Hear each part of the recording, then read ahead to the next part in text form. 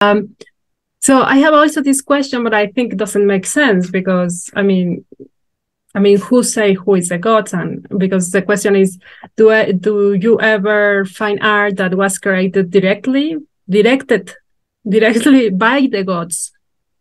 And yeah. Like, so I mean, yeah. who will say that? yeah, yeah, Claudia. I think that's a that's a good question because uh, we were just talking about representation mm-hmm. and embodiment, right? Yes. Uh, I think that's that's a really important. Uh, is art representing? In other words, um, do we start with a idea that I'm going to copy? Right? Representation is like making a copy making a copy of something in my head or making a copy of something that's out there right yes. I, I i make you sit down and i look at you and i make a copy of your image mm-hmm. right? A portrait. Or i sit in a landscape i'm looking at it and i'm copying it. So this is a big old debate as you must have come across in art history and you know goes back to plato and the idea of mimesis right? That mm-hmm.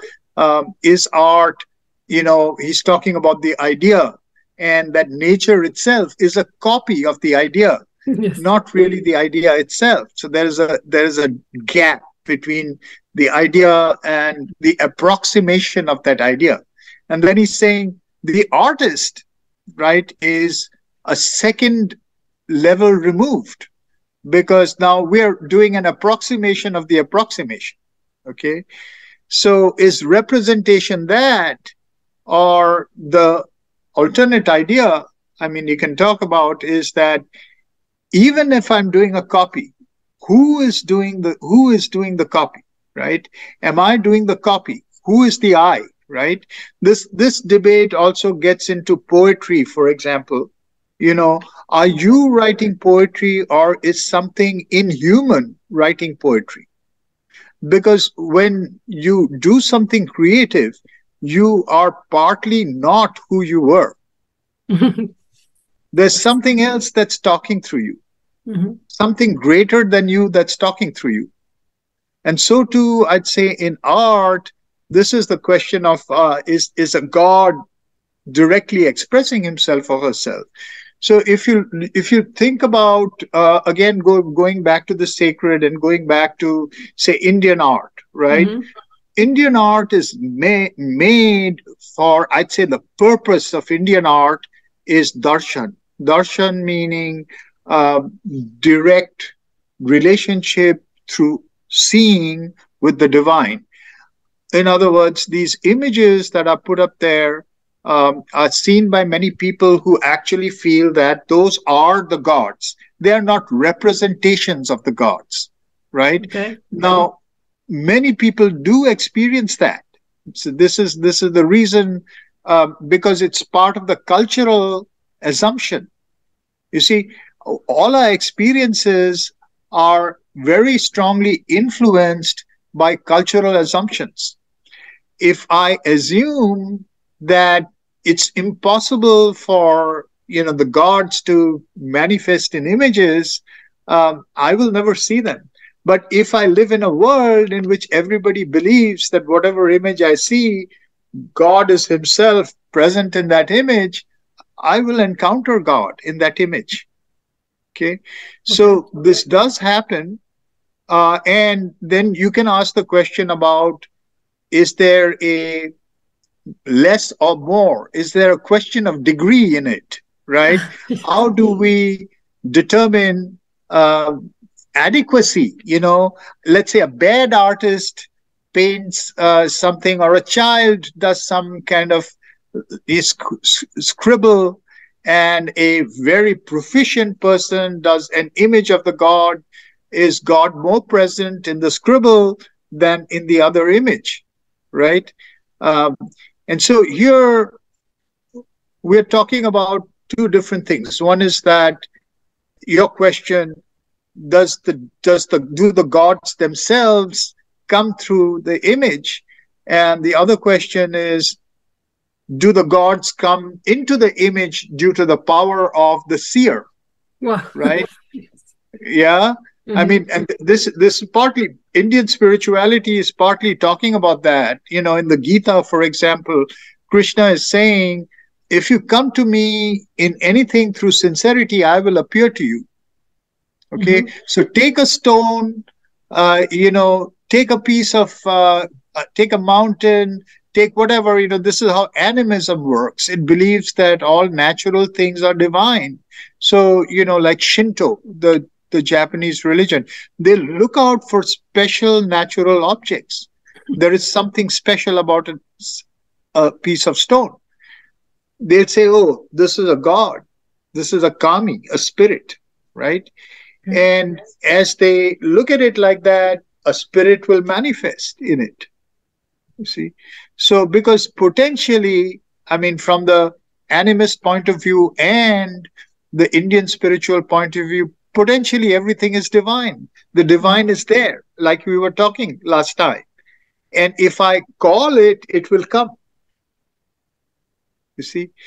Now, on the other hand, when you're talking about do the gods directly get manifest when somebody you know tries to paint it or sculpt it or something like that creates art with it. And the answer is in what condition was it prepared? So there is a whole i mean there are texts and there is a whole idea of what's called shilpa yoga. Shilpa yoga means the yoga of art. And to some extent even to this day uh, artists in india who are trained um, go through some rituals when they do their artwork and uh, if they're of a very proficient kind they do experience uh, something divine. Okay, okay. I I would say even even outside of the traditional, like I know someone in California, right, who paints the gods. And when that person gets a, a, a, commission or decides to do a certain painting, that person reads texts, uh, comes into the mood of that particular deity, um, and then feels that deity around around him okay?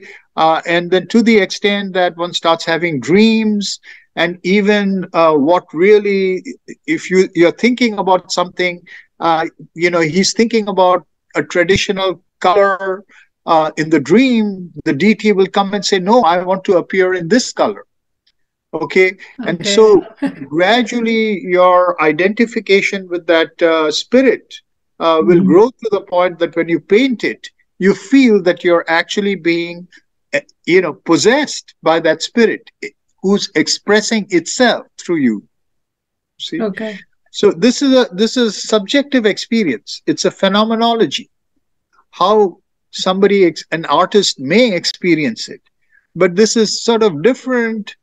So when the artist ex- expresses it, um, it doesn't mean that when you look at it, you will experience that same divine. On the other hand, you may look at something that the artist never thought of was divine, but the divine may reveal itself to you. See?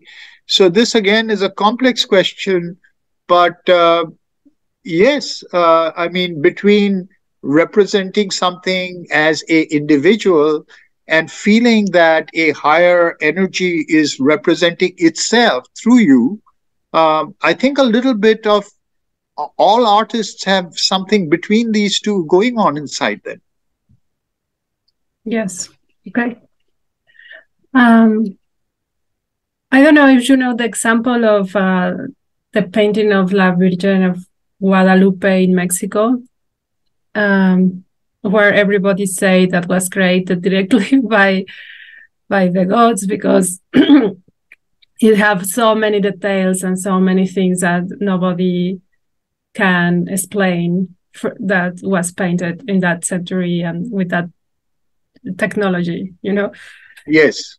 Yes i agree. That could very well be the case. That could very well be the case. That as i said the makers of it may have been given a visit visitation and a, a relation. And that relation then uh, you know prepares uh, the artist to express uh, because they partly get possessed by that uh, that, that deity.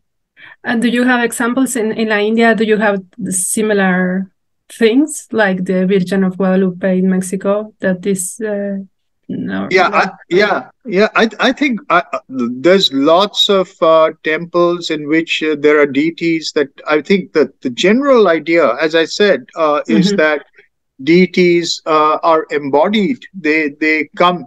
There's also rituals that make them embodied, so that they come into these images and they've actually. Uh, so as you're saying that, uh, did they? There's there's a very good example of uh, the temple of Jagannath. Okay, which is a form of Vishnu in Odisha, right? And it's sort of incomplete. It's uh, there are three wooden figures, right? And the whole story of it has to do with uh, with this that uh, you know a, a sculptor uh, came as a, a kind of a almost a divine being who came and uh, was sculpting it. But in the middle middle people wanted wanted to see they opened the door and he disappeared. And what you saw is the image that is incomplete but that gives darshan. In other words, those who go there feel they are in the presence of the deity. Uh, that image became very nice. Yes, because I mean, it's usually they have devotion, no? These kind of images or this kind of art, uh, yeah. Know, in in the world. Yes, yes, special. Yes. Um. Okay, so let's pass to to Sri Aurobindo and the mother. And what um, what is beauty for them?